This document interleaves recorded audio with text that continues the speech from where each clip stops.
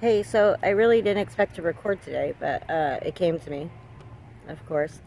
Um, so the Dems have been given the same narrative as we have.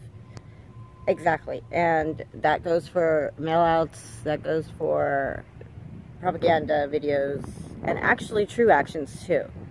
So their perspective isn't wrong completely, even though it's debunkable. There are many, many more flaws in their narrative.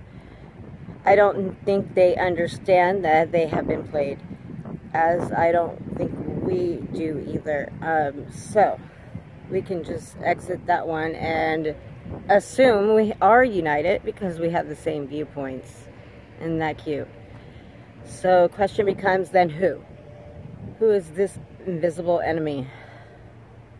So significance would be 1974 um, and the Social Security Act that was created in 45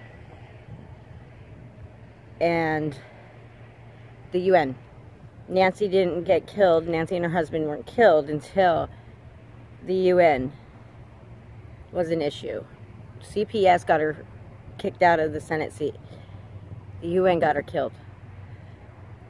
So there's that.